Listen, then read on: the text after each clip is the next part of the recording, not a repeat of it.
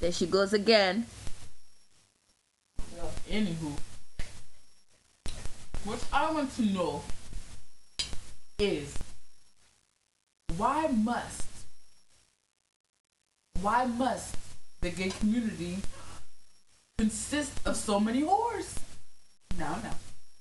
Can't we have people who just want a committed relationship, a real relationship, one with sophistication and intelligence, and she about to get slapped?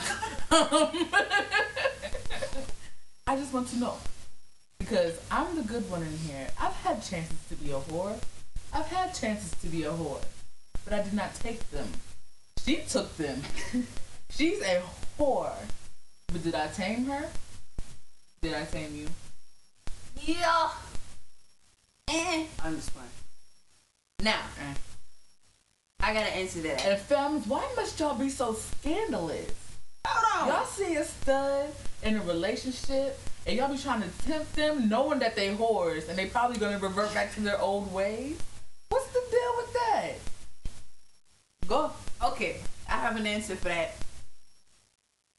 Now, why must the gay community be, a be consist of so many whores? That's your question.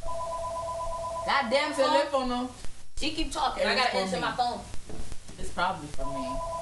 More than likely it's for me. 399 Hello. Hold on. Hello. Well, well, Yes. I got an answer for y'all, but she. Matthews Drive. Okay, you guys looking how to get here from the mall. Farrell, come on, yeah. You know. Here, here she goes. You should know.